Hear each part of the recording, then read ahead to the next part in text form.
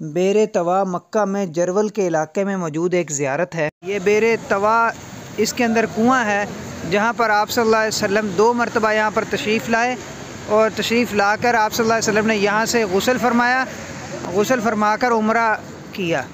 आठ हिजरी में फ़तह मक्का के मौका पर यहाँ पर आकर आप वसल्लम ने आराम किया और हजतुलविदा के मौका पर दस हिजरी में भी यहीं पर आकर आप सल्लल्लाहु अलैहि वसल्लम ने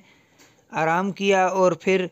यहाँ से गसल फरमाकर उम्र के लिए तशरीफ़ ले गए।